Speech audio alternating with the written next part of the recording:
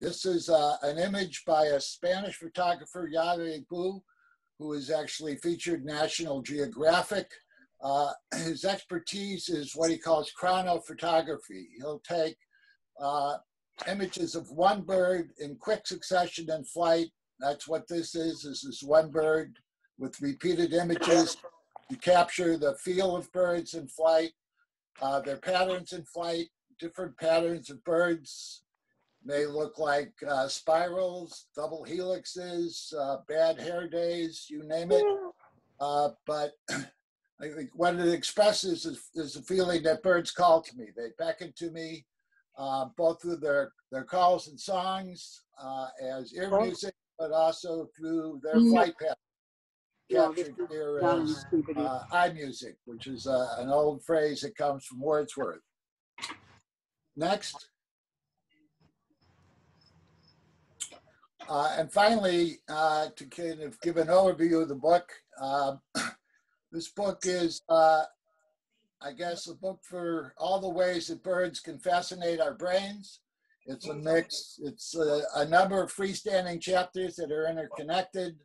It's got the history of birds, literature about birds, the science of birds, humor about birds, uh, but also as this captures uh, It's a story of my own personal transformation. I came to birding late uh, in my early 50s. Uh, birds quickly took over my brain. Uh, this x-ray of my brain is about five years old and I, I think the bird now takes up almost all of my skull, but there's still a little bit left. Next. So the presentation today is kind of a tour of a few places in Massachusetts, uh, explorations of places, but also explorations of time. Uh, this image of St. Brendan the Voyager or St. Brendan the St. Brendan the Navigator uh, is from a chapter called Birds of the Promised Land. And it's a way of expressing uh, a long tradition in Europe going back, this is going back to uh, a legend from the sixth century in Ireland, uh, but a long tradition of a land west across the ocean from Europe that was a kind of paradise, a new world, a new Eden, uh, a, a, promised land awaiting people who could find it. Uh, this is one of the oldest stories. This is St. Brendan led a group of, uh, according to legend, Irish monks in the sixth century uh, who went west across the ocean in search of the promised land of the saints. Next. St. Brendan and his monks had a lot of adventures. At one point, they stopped and got off at an island to pray. The island turned out to be a whale or a gigantic fish. Uh, but the part most relevant to birding is they also landed on, on an island called the Paradise of Birds uh, where they met a bunch of birds who said they were Lucifer's fallen angels and sang and spoke in Latin. Uh, they made a prophecy that uh, St. Brendan would never find the promised land himself, uh, but that eventually his Irish ancestor descendants would find it. Uh, I'm not claiming that uh, my Irish relatives were the ones who discovered North America. Um, or even my Norwegian relatives. Um, but I think it's just the sense that there's a, a long history of a belief in this kind of paradise of abundance. Next.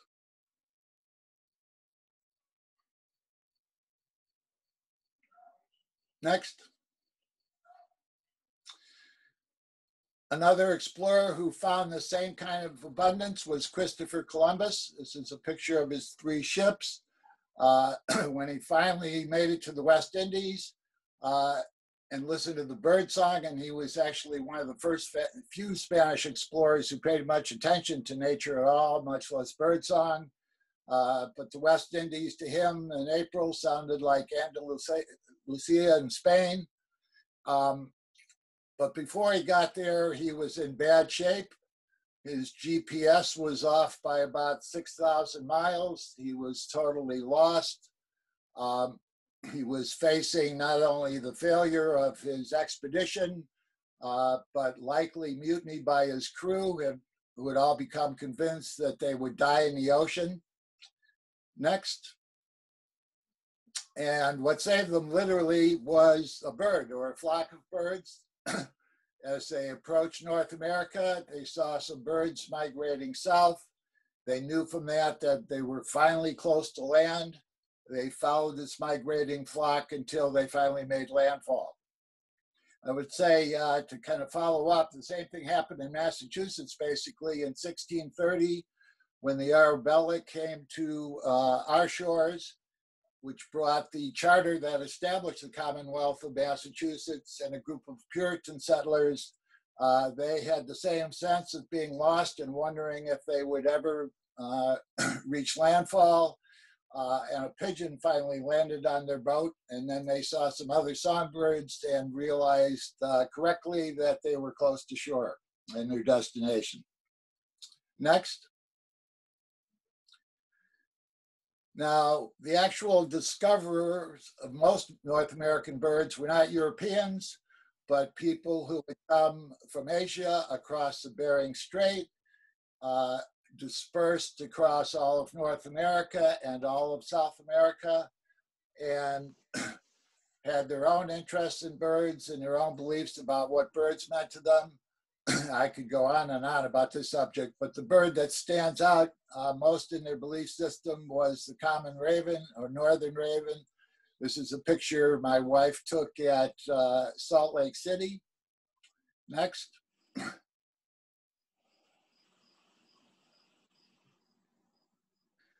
This is yours truly with a couple of uh, tamed ravens at the Tower of London. Uh, but ravens are not only very impressive birds every which way and of great interest scientifically, uh, they're probably the most important bird species in all of world folklore, uh, certainly in North America, but also in Scandinavia, uh, across much of Europe, um, so they're, they're birds that have fascinated people and fascinated people in North America long before Europeans ever came to this place. Next. This is a slide of uh, a raven, uh, a photo taken last year on Vancouver Island in Canada. Uh, I chose it just because of its whiteness, because uh, it relates to one particularly fascinating Native American myth uh, that ravens originally were white. There's actually different versions of this, uh, but often because of some misdeeds they did, uh, they were turned black. Uh, I would also say it's hard to underestimate the importance of ravens to some tribes. Um, several myths which the whole world was essentially created by ravens, uh, the whole world, including us. Next. Now, I'd like to say more about uh, what birds meant to Native Americans in New England. Unfortunately, the historical record is very scant, and this image uh, explains or expresses why that is. Uh, this is uh, a representation of the great pandemic or epidemic, which took over uh, New England from southern Maine all the way to Cape Cod between 16 and 1616 and 1619.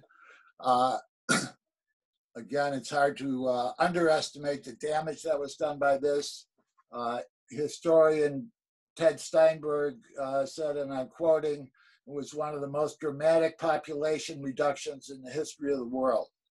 Uh, it's believed, but historians aren't certain, it's believed that this was mainly a smallpox epidemic, but there may have been uh, other diseases involved to which Native Americans had no immunity. So, you know, we have a little data about what birds meant to tribes in New England, uh, but very little. Uh, this epidemic was followed by two major wars in New England, uh, the result of which is that the native population was almost completely exterminated by 1700. Next.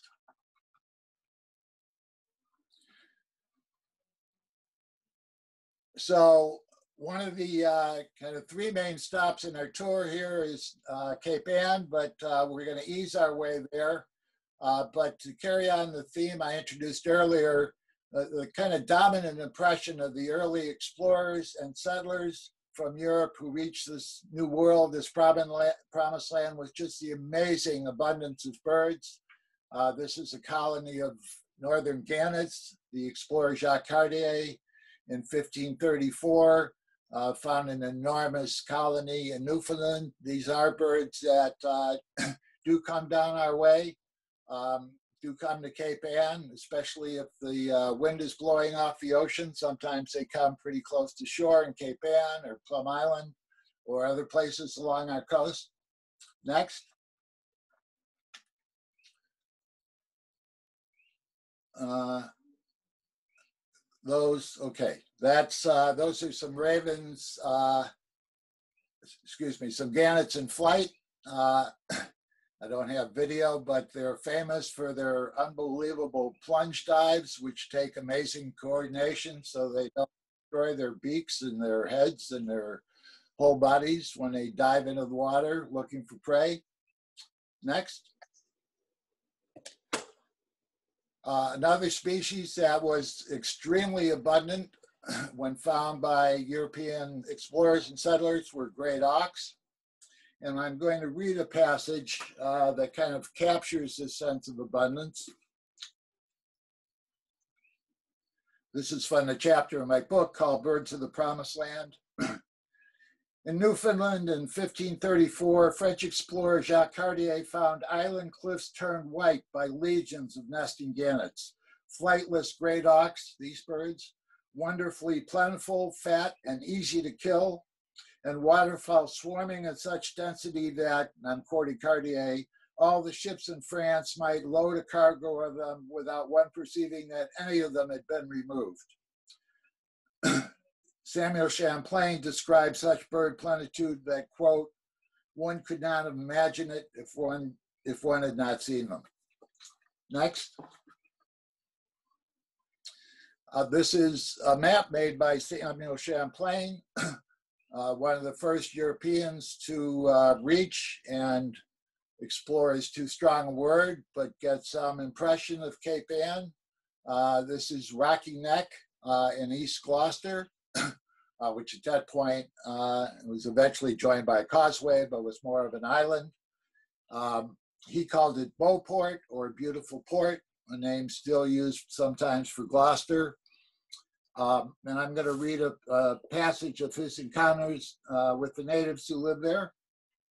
And this map actually, uh, I know it's hard to look at it carefully, but it shows uh, habitations, um, from Native Americans in Gloucester at the time. Uh, it shows garden plots. And here's a brief description. Um, Champlain called the place La Beauport, beautiful port. In the only first-hand European account of Cape Ann's Aboriginal settlers, Champlain described Pawtuckets dancing on shore and what he thought were Portuguese clothes. And he claimed better, they danced better after he gave them some knives and biscuits. He drew a map, this map, depicting habitations and garden plots around Gloucester Harbor. And at his request, the natives drew an outline of the coast to the south to help him explore. Next. This is a painting of an ivory-billed woodpecker. Uh, these birds, as far as we know, were never in New England. Uh, but one interesting thing that Champlain and other explorers discovered was that there was a lot of trade between northern and southern tribes. So he did find northern tribes in possession of the bills of ivory-billed woodpeckers, which were used as coronets for war for warriors. And there was other other evidence um, of trade between different tribes uh, who had access to different birds that were in different parts of the country. Next. Champlain uh, on Cape Can, on Cape Cod and Eastham also described birds that uh, just astonished him and his crew, and this kind of note of amazement occurs again and again of in accounts by explorers. This is a black skimmer. Uh, the Europeans simply couldn't understand how birds with bills like that could ever catch anything or eat anything. Next. Uh, the other European, early European explorer who was very important in Cape Ann's early history is Captain John Smith. He arrived here in 1614. He wrote an account of his travels in New England. Uh, he was the first Englishman to actually construct a, uh, a list of birds in the New World. and he was the first European to name Cape Ann. He called it Tra- Cape, this is a mouthful, Tragabigzanda. There's actually still a little road off the back shore with that name. Next.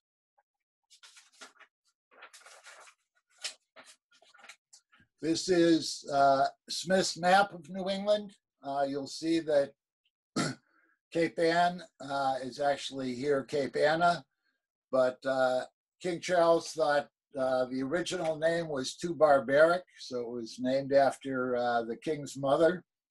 Uh, Smith is uh, an interesting character. in some ways, he was a very accurate observer. in other ways, he was an unreliable narrator. For one thing, his history was not really simply a history or an account of New England, uh, but what one critic described as a real estate brochure. Uh, you'll see in the upper left-hand corner, hard to read, but uh, he calls himself the Admiral of New England. Uh, he was basically trying to entice uh, Englishmen to come to New England um, and to hire him to bring them here. Uh, he painted a pretty rosy view of New England mainly by omitting winters. So uh, it looks like a description of a subtropical land. Uh, but even the name he gave it uh, kind of reflects uh, Smith's reputation as a, teller of tall tales. Uh, one I find a pretty amusing pattern is that uh, if you read his various adventures time and time and again, he's been captured, he's on the edge of being executed, and some beautiful brown skinned woman just can't resist his charms and saves him at the last minute. So uh, one of those was Princess Tragabigzanda. Another one was the Lady Callamata from the steppes of Europe. And the most famous to us was Pocahontas. Uh, he had such a reputation for this that uh, one critic in England made fun of him at the time as the White Othello. Next. But Smith did report on the birds of Cape Ann. I, I often, uh, if I'm scoping for birds in winter from the back shore of Gloucester, you know, drift off into a fantasy where I imagine myself on Smith's boat looking toward what on shore would have looked uh, like a wilderness to him. Uh, but one species he saw was this bird, bufflehead, uh, which gets its name because some people think it looks buffalo headed. Uh, they're also called spirit ducks just for their sprightliness and liveliness and sociality. Um, if you see them well, as in this photo, they've got some beautiful iridescence on their face. Next. Uh, another bird he saw, and this is uh, a recent picture by from my friend Pam, uh, is redneck grebe. This is uh, really an interesting picture because this bird has been around uh, off Niles Beach in Gloucester this summer and beautiful blooming primate, beautiful breeding plumage. Uh, usually we only see this bird in drabber winter plumage, but this individual is stuck around. It actually took me some research to track down uh, that this was in fact one of the birds that Smith saw. Um, he calls them dive toppers. Uh, but a lot of birds, uh, seabirds, die for their prey. But I finally found uh, a reference clearly to grebes, could be either redneck grebe or horned grebe uh, in Shakespeare, who called them dive dappers. So pretty certain this is one of the species that Smith saw. Next.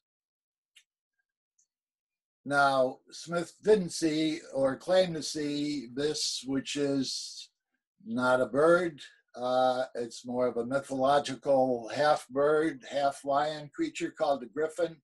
Uh, I've used this slide just to illustrate uh, with Smith and a lot of other European observers, uh, terminology can become a real issue in figuring out what birds they were looking at.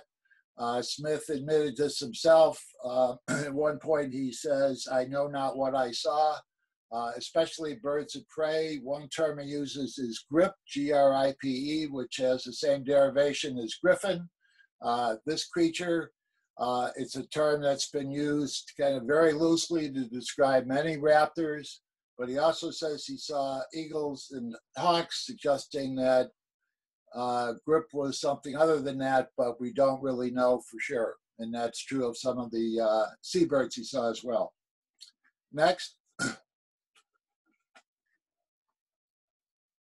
Now, certainly of all the birds that were found by European explorers and settlers, the one that's really amazed and startled them was the ruby-throated hummingbird. Uh, William Wood, an early uh, settler in New England, uh, described as, quote, the miracle of all our winged animals.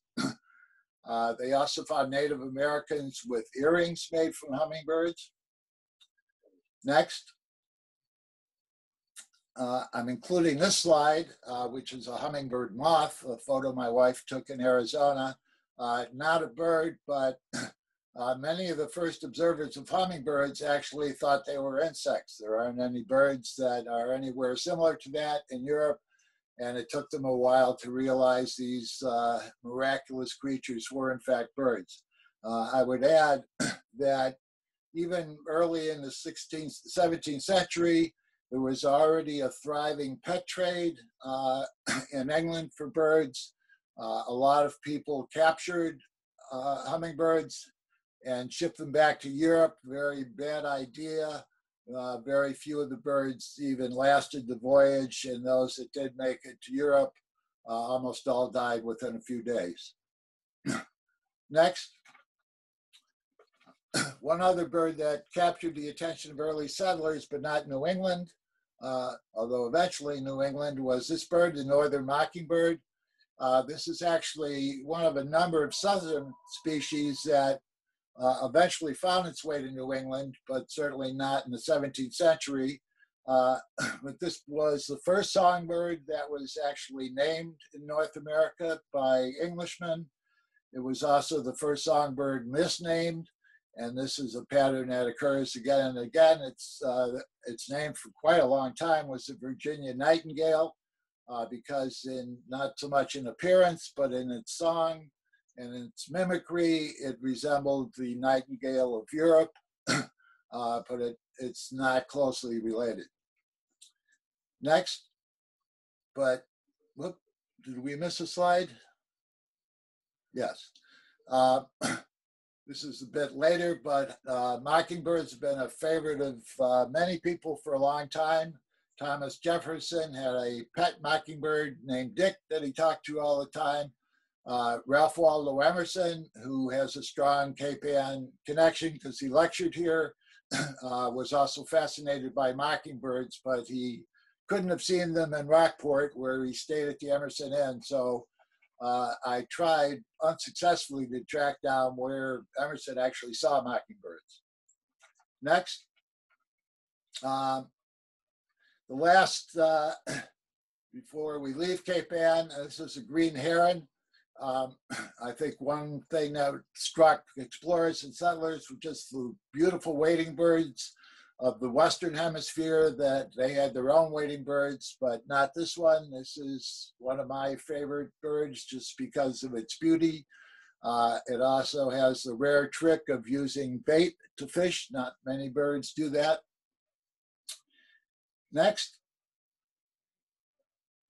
So I promised you uh, some humor. So before we leave Cape Ann, a quick humorous interlude. Uh, there's at least a lot of attempts at humor in my book, generally at my own expense, uh, often at the expense of what I would call my orthopedic birding adventures. Uh, this is Dog Bar Breakwater in Eastern Point. Uh, after one surgery, uh, where I felt I was living under house arrest, I think we all know that feeling these days. Uh, I got stir crazy in the middle of winter. Next. So I did this. I took off in my crutches and my cast and walked the length of Dog Bar Breakwater uh, with this gull in my crutch giving me a hard time. Uh, my wife was by my side. She's a nurse. In this case, she was more uh, sort of a combination of my enabler uh, and my protector in case I fell off the edge. Next but this journey up to Breakwater was well worth it because at the very end, this is what I discovered. Uh, a flock of purple sandpipers. This is uh, actually a photo by Chris Chacon, not my, uh, not my photo, but uh, I got so close that I could actually see why they were called purple because they do have sort of a lavender tinge, but you have to get close to see that. Uh, I counted 153 at the end of the breakwater uh, by far the most I've ever seen at one time. Next. So now all I had to do was get back to my car going back down to the breakwater. Uh, I, I, did tell my orthopedic surgeon about this. Uh, I can't describe the expression on his face. He simply said, What were you thinking? And I answered, Birds. Next. So we're going to leave Cape Ann behind, although this actually is still in Cape Ann and West Gloucester. But uh, our next second major des- uh, destination is the Great Marsh, uh, which extends from its uh, kind of southern end in Gloucester, the marshland, uh, all the way up the coast into New Hampshire, uh, the most extensive salt marsh in our state. Next. This is actually a photo of marsh in the distance at uh, taken by my wife uh, at sunset at Conomo Point in Essex, which is part of this marshland. Next. Uh, another photo taken by my wife, who's an excellent photographer. This is the Cox Reservation, a Greenbelt property, uh, also in Essex. And I'm going to read you uh, a short passage here. Um, you know, I'm native to Illinois. I'm not a native New Englander. Uh, I fell in love with the ocean, but the, the more I've been here, which is about 50 years now, I've really come to love salt marsh. and I'm going to read you a passage that uh, tries to capture that love. This is from a chapter in my book called The Great Marsh. It's this reaching and creeping I love, life grasping for root holds, the endless rise and fall of water, the marsh inching inland and receding, the boundaries ever shifting, plants ever colonizing like eelgrass capable of cl- complete submersion, animals finding homes, a world in flux. On a gray mudflat under solemn clouds, the sun comes out and transmutes a mud puddle into a reflective pool of sun, shining cloud, and a great blue heron lifting off. Mary is by my side, light passing through her hair. Feeling swoops into space inside me. Around us, ocean flows into bay, estuary into river, marsh into solid land.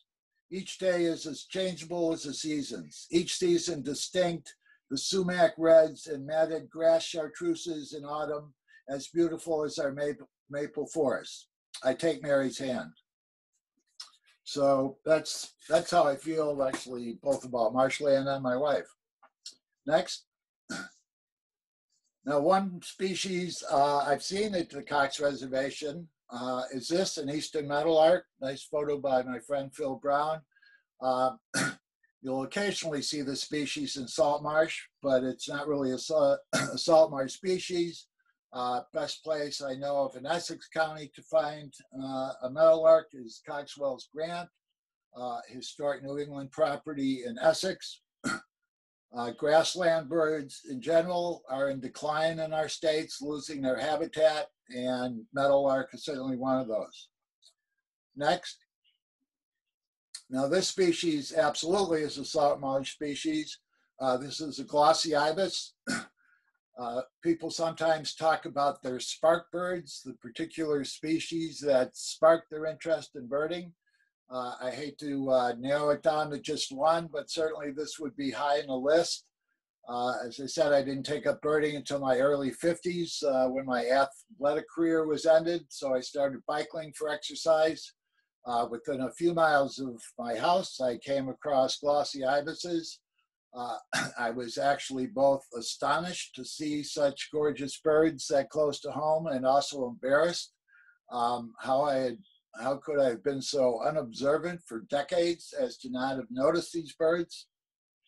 Uh, they seem like creatures that should be uh, Paleolithic or from Nubia in Africa, uh, not three miles away in Gloucester. Next. And another species uh, I quickly fell in love with is little blue heron. Um, a good place to see these is a pond on Bray Street in West Gloucester, which is a couple miles from my home. So I'm actually, if you're really lucky, you can sometimes see them in all their variations from juvenile white to this color to kind of calico blue and white in between. Next. This is a photo of a willet by my friend Shiloh. Um, and this is truly a characteristic uh, bird of the marsh, salt marsh. Uh, its distinctive uh, willet cry is really the, the, the flight call of salt marsh. it is uh, these birds in breeding season don't shut up. You can hear them all the time. Um, you hear a willet, you've got salt marsh around you. Next. Uh, one of the treasures of the Great Marsh is, this is an overview of Crane Beach in Ipswich. Uh, very long history of being a popular birding spot. Uh, if you look at older records, you'll see references to the Ipswich Dunes. That means uh, Crane Beach and the dunes around it. Uh, my friend Jim Barry and I lead an annual walk uh, for Crane, at Cranes. Um, for the Brookline Bird Club and Essex County Ornithological Club. Uh, actually, Jim is the leader. I just kind of take along as the uh, quippy sidekick with a spotting scope. Next. Uh, one of our target birds is this, uh, piping plover. Uh, this is actually a piping plover multiplied. With offspring. Uh, great picture by my friend Christopher Chacon.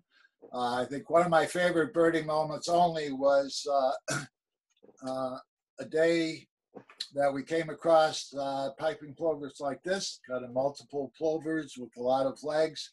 Uh, and some friends of mine had come along to join our group, and they had a daughter, Brenna, who is, I don't know, five or six years old at the time uh, not that enthusiastic about birds, but liked the beach.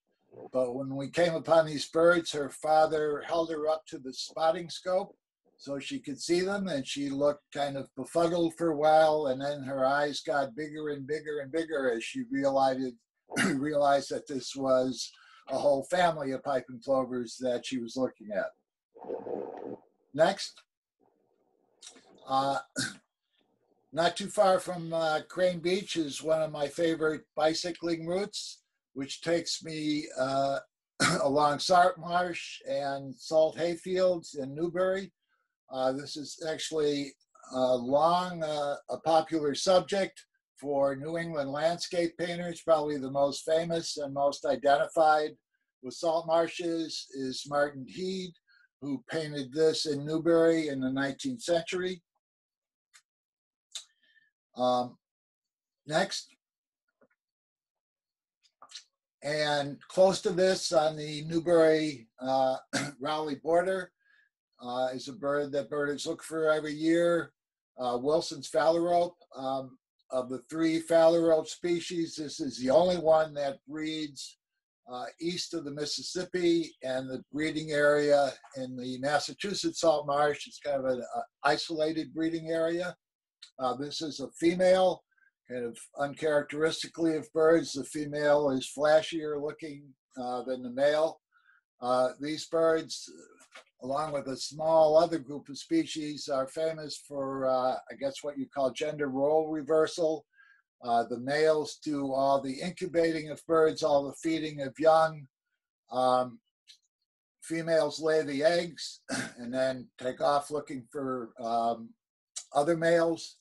Sometimes the females can be very uh, aggressive in pursuit of their mates. Uh, there's a lot of humorous passages in birding history of, uh, I guess, humorous if you're not a male phalarope, of females um, kind of intimidating, thrashing males around, uh, sometimes almost drowning them. I, must say I've never met a human fe- female who didn't like phalaropes. Uh, there are also comical stories with both phalaropes and jacanas of scientists uh, with gender stereotypes uh, who were actually baffled. They just couldn't believe that these were female birds because they didn't act like what they thought females ought to act like. Uh, although the fact that they laid eggs kind of gave the game away. Next. I do a lot of birding by bicycle. I think probably my famous, most favorite place is Plum Island. Uh, every year, Mark Burns and Laura De La Flor lead a uh, Brookline Bird Club bicycle tour of Plum Island. That's me on the right. Um, great place to bike, bicycle. We, we usually stop when the pavement stops and don't do the gravel section. Uh, I could do a whole session just on birding Plum Island, which is good in all seasons, kind of every part of it. It's got some variety of habitat uh, and special birds in each of those habitats, but just to uh, give you a few highlights. Uh, next. Uh, one is that uh, every year there's a pair of uh, ospreys uh, that nest on a platform nest, uh, ospreys along with peregrine falcons and some other birds, bald eagles, uh, were in serious trouble because of pesticides, which would thin their eggs. Um, but I think we haven't gotten rid of pesticides, but there's been a great reduction. Uh, these birds have recovered. They're now much more common again as breeding birds in our state. Uh, they're beautiful birds, so uh, they're one of our modern conservation success stories. Uh, they're also a source of, uh, I don't know, you can draw what lesson from this you will. Um, one time I uh, showed up at Plum Island and I was, I think it was early in spring, and I was uh, looking to see whether the ospreys had returned to their platform nest. So uh, I got out of my car. this couple came running at me, all giddy, all excited saying they'd just seen a pair of bald eagles um, on top of the platform. So I said, well, maybe, but um, that platform is known for the ospreys that nest there every year. Are you sure they were bald eagles? No, no, they were sure bald eagles. So I got my binoculars and got close enough so I could see the platform and saw two ospreys up there. Uh, I pointed this out to the couple. No, no, bald eagles. They were sure of it. Uh, so I got out my Sibley Guide to Birds and uh, very carefully pointed out all the uh, field marks and distinctions between bald eagles and ospreys. Nope, nope, still bald eagles. Uh, I finally got out my spotting scope at 32 power magnification and uh, urged this couple to look at these ball, these birds uh, at their leisure, but they remained bald eagles to the very end. Next. Uh, one of the characteristic birds of Plum Island uh, and a true salt marsh lover is this northern harrier. Uh, there's a number of harriers around the world. Often they are marsh lovers, um, especially in winter. You can see this bird often gliding uh, very low to the ground, just looking for prey. Next, uh, the harrier's arch rival, um, although this doesn't show a harrier, is a short-eared owl, uh, another salt marsh specialist. This is actually an amazing picture of a short-eared owl uh, having a rough tumble with an American kestrel. Uh, short-eared owls are, I think, usually visit Plum Island every year. Sometimes they're scarce. They can be hard to see. Um, to use the formal term, they're crepuscular, which means they generally come out at dusk um, and then stay out till dark. But that this is a bird that uh, birders will uh, and photographers will come to uh, Plum Island every year in hopes of seeing one. Next. Uh, back up one, I think. Yes. Uh, there are also songbirds uh, at Plum Island, and one bird that's most definitely a salt marsh specialist, as its name indicates, uh, is this bird, the salt marsh sparrow. Uh, I'll mention this again later, but uh, this is probably of all our breeding birds in Massachusetts, the one that is most seriously threatened. Uh, it's threatened because its habitat is being drowned by rising sea level. Uh, I've talked to a few biologists who you know, made the glum prediction that this is probably the next species in our state most likely to grow uh, extinct. Uh, and finally, we'll leave Plum Island with this. Uh, this is a group of tree swallows in migration. Uh, this the spectacle of tree swallow migration uh, is one of the great spectacles in birding in many places in eastern Mass. Uh, uh, this is already in progress. Uh, sometimes you can see thousands upon thousands, too many thousands to count, all all over the marsh. Uh, and one summer, um, this may sound like an Alfred Hitchcock experience, but it was actually totally exhilarating. Uh, I was recovering from an orthopedic surgery. Uh, finally, was able to get back on my bicycle again, right in the midst of swallow migration. Uh, I picked a lucky day. I rode the length of the paved part of Plum Island uh, and rode through thousands and thousands of tree swallows uh, just all around me, an absolutely uh, exhilarating experience. So if, you've never seen uh, hordes of tree swallows in migration, it's a spectacle you should not miss. Next. Now, going a little further afield, uh, I'm not even going to be able to get to central and western Massachusetts tonight, but um, this is one place I did not want to omit. This is Mount Auburn Cemetery, which is on the border of Cambridge and Watertown. Uh, this was opened and consecrated in 1831. It's basically a vast graveyard garden. Um, it led uh, kind of led the way for a whole uh, rural cemetery movement. It sort of revolutionized the whole concept of cemeteries um, as a place for beauty, spiritual reflection, uh, social gathering.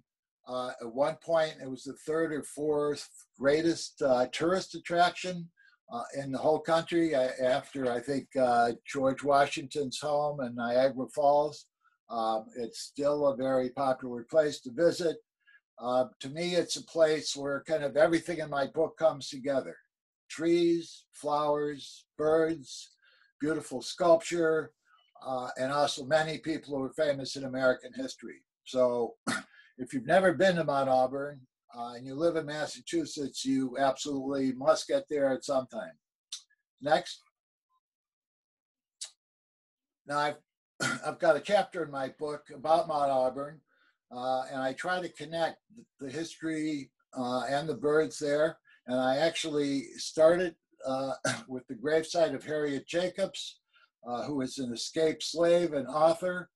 Um, I had taught a book of hers uh, in my career as an English professor and, of course, on American literature. Uh, her inscription of her gravestone reads, patient in tribulation, fervent in spirit, serving the Lord. Next the book she's known for is called Incidents in the Life of a Slave Girl, uh, a remarkable book I'd strongly recommend. Uh, probably the most remarkable part is that she was being hounded sexually uh, by her master, um, finally to the point where she faked an escape. Uh, and instead of actually escaping, she spent seven years hiding in a garret um, that was very small, much too low for her to stand up in. She actually made some peepholes so she could look out in the street. Um, this was her hiding place was a total secret. uh, even to her two children. The only one person who knew about it was her grandmother. Next. And when I, she doesn't describe birds in her book, but I've often thought of her alone, seven years in a garret. Um, she must have been able to at least hear bird song, um, perhaps see some birds. One bird she probably would have heard is this, an indigo bunting. And I think this kind of captures to me what Mount Auburn is about, how history and birds come together. Uh, the day I visited her gravesite, as I was standing there reflecting on her life, I heard the very characteristic two note song of an indigo bunting uh, right over her gravesite. Next. now, not far from her site is this statue by uh, a famous sculptor, Martin Milmore. uh, this is often called the Copenhagen uh, Angel. It was in honor of the memory of his daughter who died young. Um, Mount Auburn is filled with angels, and like some of the other sculptors, Milmore paid a lot of attention to uh, the construction or structure of feathers on birds, and uh, his angels are often uh, kind of very true to the feather patterns of actual birds. Um, the day I left, uh, walked away from this statue, and this is what happens all the time. Uh, I quickly found this bird next. This is a beautiful great crested flycatcher. This was uh, very close to uh, a famous memorial to Mary Baker Eddy, founder of Christian Science. I'm going to come back to her briefly later. Next. Probably the most famous sculpture at Mount Auburn is this, the Sphinx. This is a combination woman, eagle, lion uh, also sculpted by Martin Milmore. and I'll quote the inscription American Union preserved, American slavery destroyed by the uprising of a great people, by the flood of fallen heroes. Next. A bird I found very close to here, and again, this is uh, in the spirit of both Mount Auburn and my book. Um, this is a Canada warbler. Uh, this bird has personal meaning to me because I associated with my brother uh, who lived in Canada, who died about 10 years ago at a time where all four of my surviving siblings died within a year.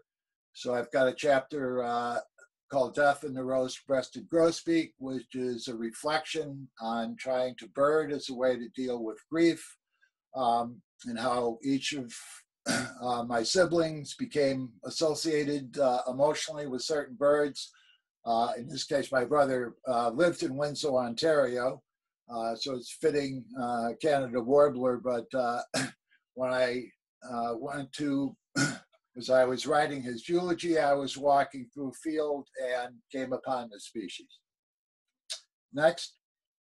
Uh, Mount Auburn has a long history as a popular place for birders and bird, bird clubs to go.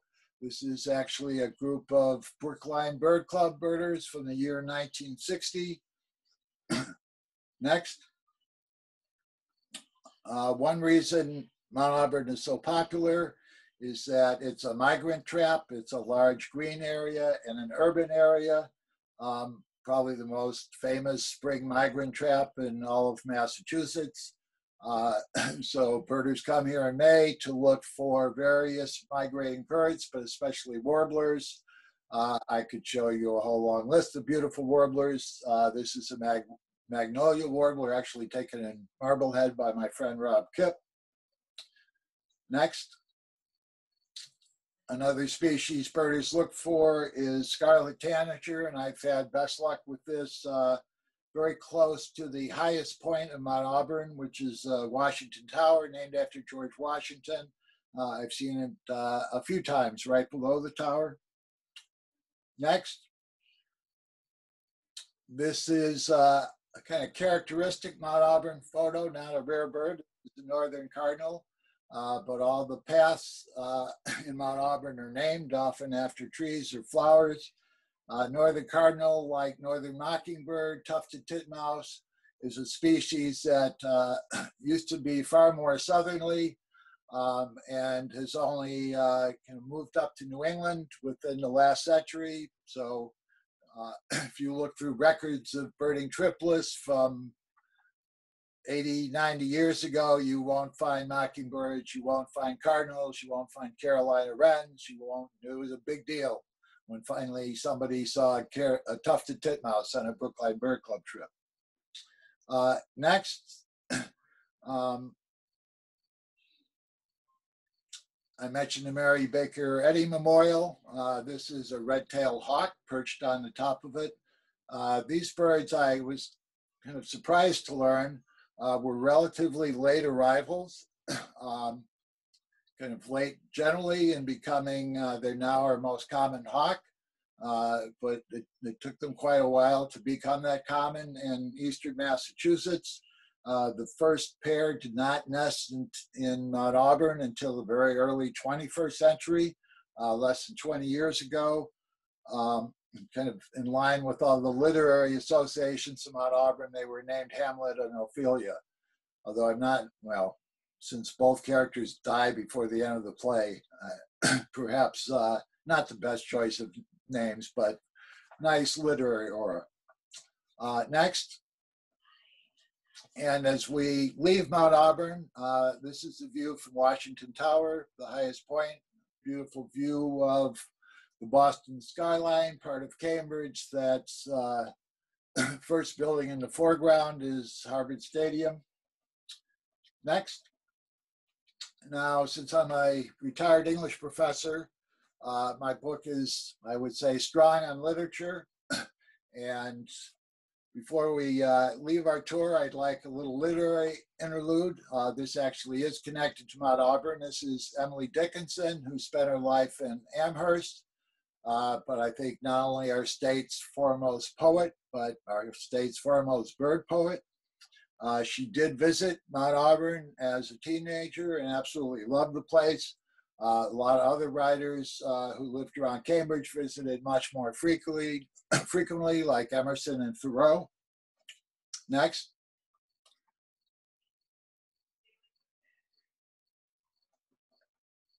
Now, Dickinson loved and identified with quite a variety of spe species, but I think her favorite by far uh, were hummingbirds. Um, she actually, it was common practice in those days for visitors to leave calling cards. She sometimes uh, signed her calling card hummingbird. Next. Whoop. Next. Um, and there's kind of a fascinating story. Dickinson, you know, sometimes is thought of as a solitary creature, uh, but she was part of a circle of uh, literary and artistic friends who were often bird lovers. Uh, one of them was Martin Heade, who I showed you earlier, the hayfields of Newbury. Uh, but he's maybe most famous for his paintings of birds and flowers in South America. Uh, this is a painting by Heade of some hummingbirds and some flowers in Brazil. Um, Harriet Beecher Stowe, who at one point uh, rescued uh, a hummingbird and nursed it back to health, was part of the circle of friends. Uh, next. Dickinson associated with hummingbirds is one of her favorite words, evanescence. Uh, she wrote several hummingbird poems, but I'm going to just read you this one. It's very short, kind of captures the whimsical quality of some of her poems. a root of evanescence with a revolving wheel, a resonance of emerald, a rush of cochineal. And every blossom on the bush adjusts its tumbled head, the mail from Tunis probably, an easy morning's ride. Next. And I'm going to leave you with other, one other uh, Emerson poem, or Dickinson poem, sorry. Uh, this was probably too small for you to read. Uh, but one thing I think underestimated in Dickinson's poetry, um, she has some poems that uh, can be bleak or at very least very introspective, um, questioning what it all means. But she also had a playful, whimsical streak and there's certain birds that brought that out in her. I think uh, one for sure was the bobolink. This is one of her bobolink poems, so I'll read it to you. Uh, this is about basically uh, spending uh, Sunday not going to church but hanging out with bobolinks. Some keep the Sabbath going to church. I keep it staying at home with a bobolink for a chorister and an orchard for a dome. Some keep the Sabbath in surplice. I just wear my wings, and, if, and instead of tolling the bell for church, our little sexton sings. God preaches, a, God preaches, a nodal clergyman, and the sermon is never long. So instead of getting to heaven at last, I'm going all along. Emily Dickinson. Uh, I would also add before we leave her, she has another very funny bobolink poem uh, that involves a kind of wise ass bobolink uh, who visits a bunch of drab Presbyterian birds having a very dull Sunday and kind of uh, rouses in into a spirit of humor. Next. So, heading into the conclusion of the presentation, uh, this is a New Yorker cartoon. Uh, I guess at my age, I could take this personally. Uh, tick tock, tick tock, time is moving on. Um, but in some ways, for birds, time is running out for a number of species. Next. I often find myself uh, kind of thinking back to St. Brendan in the sixth century um, and to other early explorers and what happened to all this abundance they were amazed to find uh, in the paradise of birds in the New World, the, the, promised land they finally found. uh, in some cases, uh, it's not a pleasant story. Next. Uh, great auks with at one time astonished uh, Europeans with their abundance uh, are now extinct, uh, along with some other birds that uh, early settlers found, like passenger pigeons, once considered the most abundant species perhaps in the whole world, or Carolina uh, parakeets. Next. This is a, another New Yorker cartoon. I guess you could say it's funny, but not funny.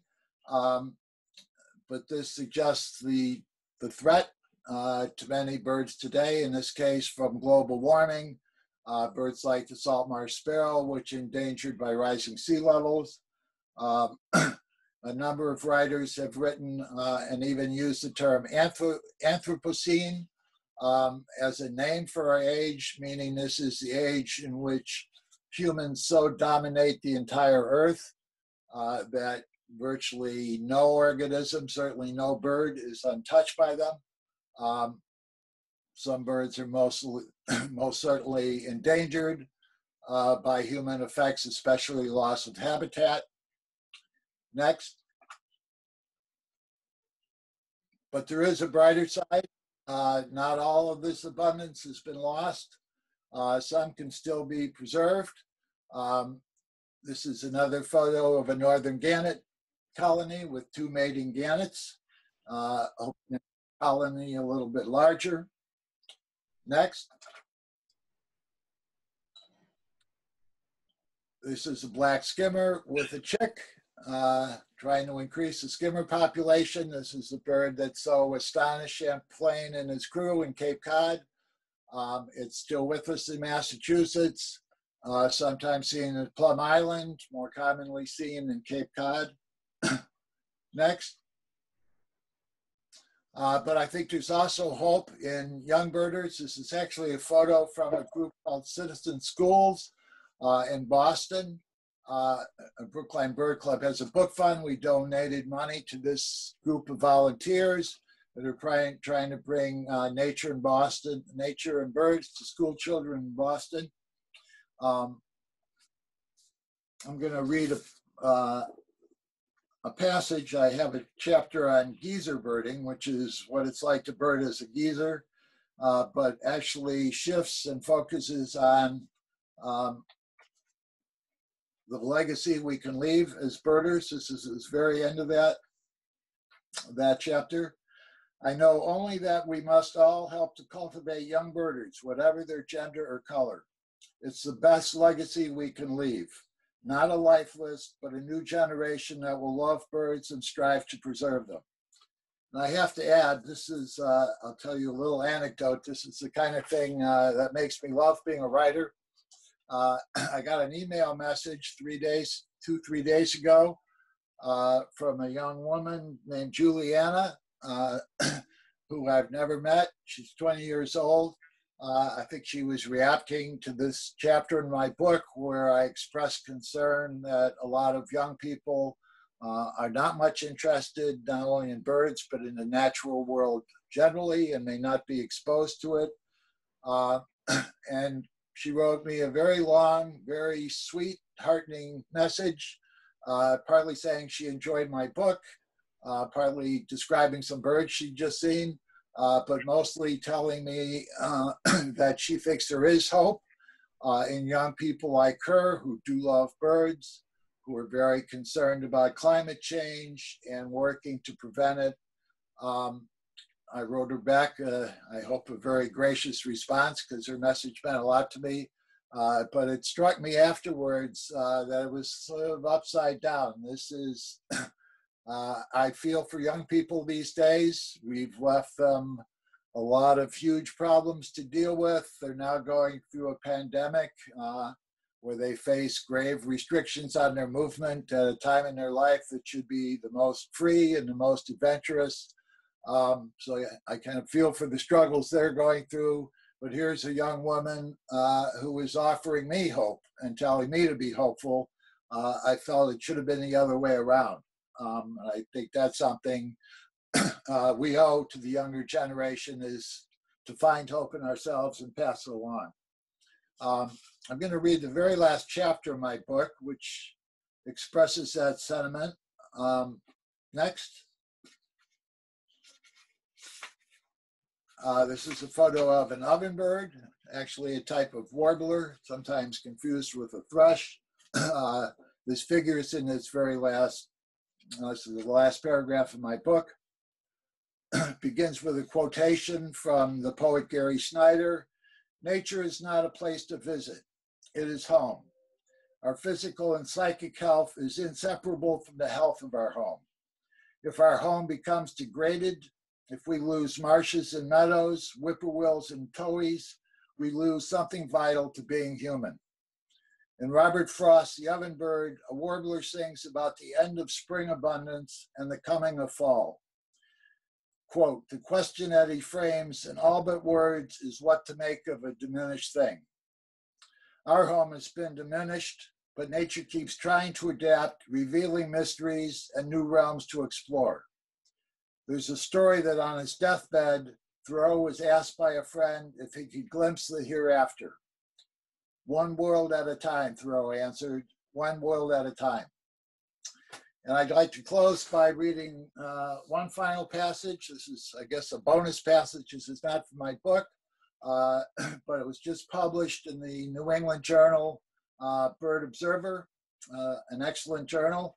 Uh, I'm on the board of the magazine, and board members were asked to uh, send in some reflections on birding safely and sanely uh, in the pandemic.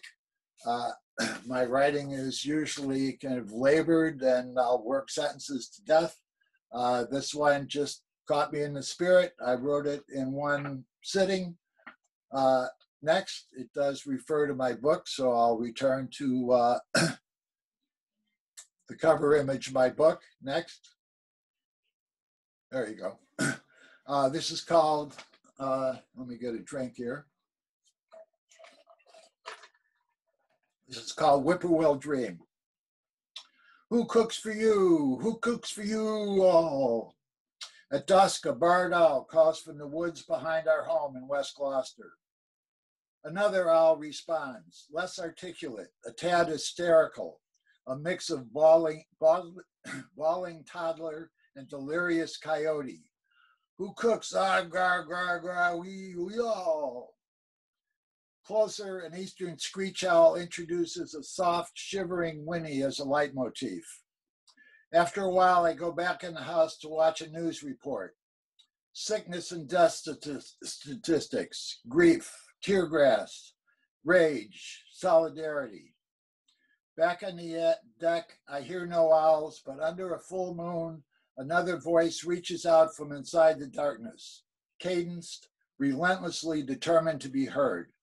For moments, there is no pandemic, no nation reckoning with its racial history and future, nothing but a sound beckoning in the wind. Whippoorwill, whippoorwill, whippoorwill. I love that whippoorwills exist. On the cover of my book, Flight Calls, a beautiful Audubon painting captures their postures, a tail flashing white in flight.